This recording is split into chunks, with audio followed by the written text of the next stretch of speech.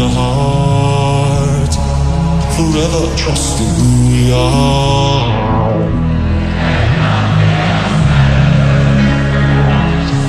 Never opened myself this way.